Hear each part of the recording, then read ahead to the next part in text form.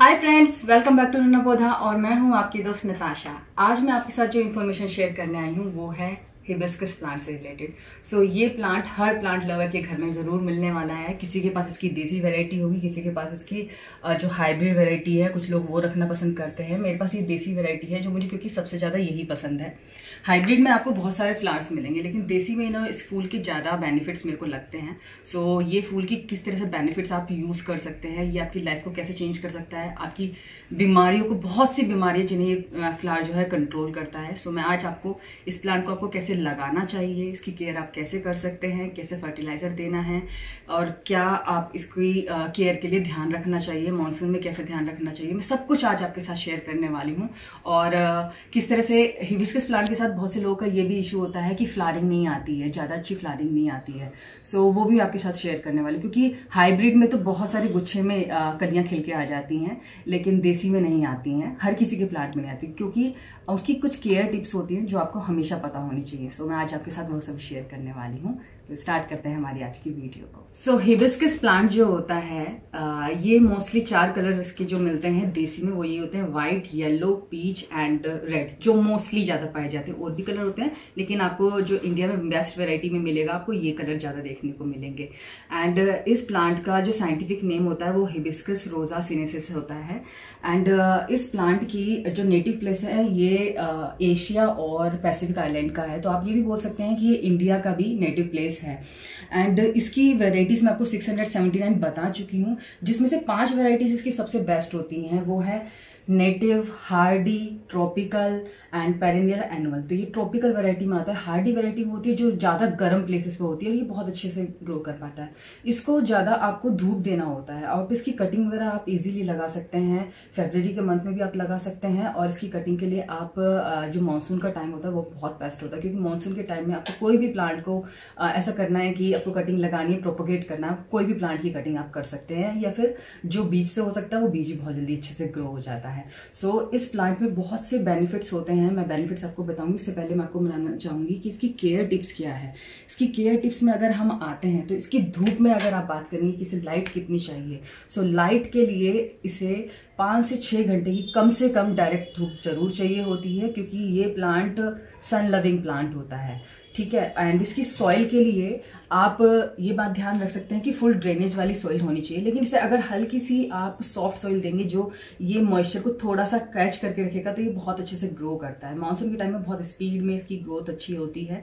और मानसून से पहले भी आप इसकी कटिंग कर सकते हैं एंड फेबररी के मंथ में या फिर मतलब जो है समर से पहले आप इसकी थोड़ी बहुत कटिंग कर सकते हैं, अगर आपको इसकी अच्छी शेप देनी है या फिर आपको ऐसा लग रहा है कि आपका प्लांट इधर उधर ज़्यादा स्टेप्स बढ़ रहा है तो परफेक्ट शेपिंग के लिए आप प्रूनिंग इसकी ज़रूर करते रहिएगा।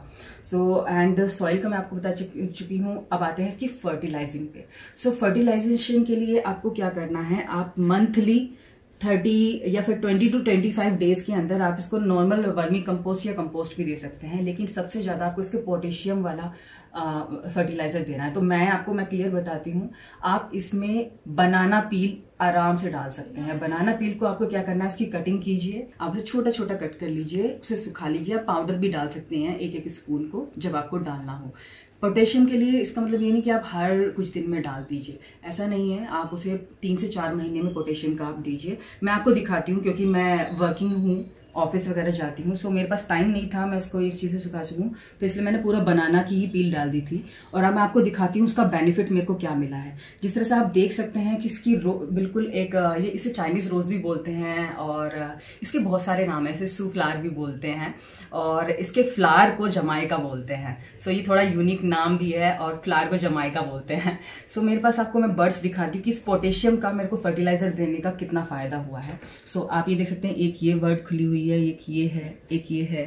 एंड यहाँ पर भी खिली हुई है। यहाँ पर भी खिली हुई है। यहाँ पर भी खिली हुई है। यहाँ पर भी है। So almost eight to nine birds आप मेरे आ, इस प्लांट पर देख सकते हैं। सो so, बहुत अच्छा ये खिल के आता है। कभी दिन में तीन से चार फ्लावर भी खिल जाते हैं। सो so, अभी एक है लेकिन बहुत सारी बर्ड्स ऑलरेडी हैं। सो so, आपको पोटेशियम का इसको जो है ज़रूर फर्टिलाइज़र देना चाहिए। इसकी बहुत अच्छी ग्रोथ होती है और बहुत अच्छे से ये फ्लारिंग करता है। अब मैं आपके लिए जो मैजिकल चीज़ है वो आपके साथ आज मैं शेयर करने वाली हूँ कि ये जो फ्लावर है इसका। आप इसका बेनिफिट कैसे ले सकते हैं? आपको स्लिम ट्रिम रहना है, आपको अपनी स्किन अच्छी रखनी है, आपकी किसी की बॉडी में पथरी है स्टोन की दिक्कत है, किसी को कोई भी दिक्कत होती है, आप एक काम कीजिए, ये फ्लावर लीजिए और दो फ्लावर आप ले लीजिए एक दिन में या एक से दो फ्लावर आप ज़रूर लीजिए और इसका ये ग्रीन पार्ट हटाइए और इसका ये पोलन पार्ट हटाइए क्योंकि ये हमारे लिए कोई यूज़फुल नहीं होता। इसको पानी में बॉयल कीजिए और आराम से चाय पीजिए। अगर आप डेली शुरू कर देंगे तो आपकी बहुत सी बीमारियाँ कम हो जाएँगी आपका हेयर फॉल बंद हो जाएगा। हेयर से रिलेटेड बहुत सी बीमारियाँ ख़त्म हो जाती है। स्किन्स की एक्नी वगैरह की दिक्कत भी ख़त्म हो जाती है। स्टमक की प्रेन्स वगैरह स्टमक में जो दिक्कतें होती हैं, किसी को एसिडिटी की दिक्कत होती है, वो भी ख़त्म हो जाती है। कैंसर जैसी बीमारियों की दवाइयों में भी इस प्लांट को यूज़ किया जाता है। सो ओवरऑल अगर मैं आपको बताऊँ तो ये बहुत मैजिकल फ्लावर है, जिसे आप अपने घर में ज़रूर लगाएँ। सो फ्रेंड्स अगर आपके पास इनर गार्डन है, ज़मीन है, जहाँ पर आप आराम से अच्छे पौधे लगा सकते हैं सो so बेटर है, क्योंकि मेरे पास वो ज़मीन नहीं है तो आपको ये क्या करना चाहिए? ग्राउंड में लगाना चाहिए। अगर ग्राउंड में लगाएँगे, ये तो टेन फीट तक भी ऊपर अच्छा से बढ़ता है, पूरा बेल और पेड़ सा बन जाता है और उसमें बहुत भर के फूल आएँगे। आप फूलों को ऐसा, आप उसके लिए बेनिफिट आप ऐसे ले सकते हैं, जब बहुत सारे फूल आए तो आप उन्हें ना सुखा लीजिए। सुखाना कभी भी धूप में नहीं होता है। अगर आपको किसी भी फ्लावर का या किसी भी चीज़ का बेनिफिट लेना होता है, आपको लगता है हेल्थ बेनिफिट होता है तो आपको कभी भी उसे धूप में नहीं सुखाना चाहिए। आपको हमेशा छाया में सुखाना चाहिए। छाया में सुखाने के बाद इसका पाउडर बना के रखिए। सुबह और शाम में खाली पेट में इसको आप एक एक चम्मच पाउडर ले सकते हैं और बहुत सारे बेनिफिट्स अपने बॉडी में चेंजेस देख सकते हैं बहुत बेनिफिट्स ले सकते हैं इस फ्लावर से। सो so, इस फ्लावर की अगर आपको ऐसा लगता है गर्मियों में पीली पत्तियाँ आके झड़ने लग गई हैं आपको ऐसा लगता है पीली पीली पत्तियाँ पड़ती जा रही हैं तब आपको आ, टेंशन नहीं लेनी है क्योंकि ये फ्लावर है गर्मी बहुत आराम से बर्दाश्त कर लेता है फोर्टी डिग्री तक टेम्परेचर में कोई दिक्कत नहीं होती इसे। सो so, आपको फिर भी ऊपर से नहला के से पानी देना है और पानी आपको इसे तभी देना है जब इसकी जो मिट्टी है वो मतलब सूख जाए। नॉर्मल आप इसे डेली पानी मत दीजिए, नहीं तो ये आपका पौधा अच्छा नहीं होगा। चलता रहेगा। हार्डी प्लांट है खराब नहीं होगा।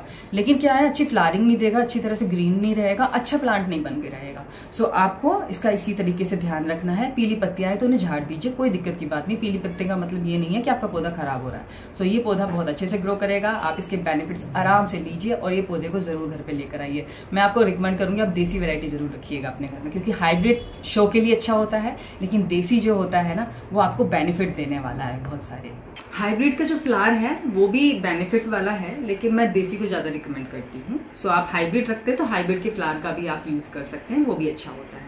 सो आई होप आपको मेरे द्वारा दी गई ये सारी इन्फॉर्मेशन पसंद आई होगी और अगर आपके पास ये प्लांट है तो आप इस तरह से इसकी केयर करेंगे नहीं है तो ज़रूर लेकर आएँगे।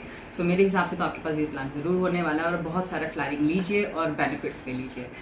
और प्लीज़ मेरी वीडियो को लाइक कीजिएगा कमेंट कीजिएगा, कोई सजेशन है तो ज़रूर दीजिएगा। नए हैं हमारी वीडियोस को पहली बार देख रहे हैं तो सब्सक्राइब करना मत भूलिएगा। मिलते हैं नेक्स्ट वीडियो में, तब तक के लिए बाय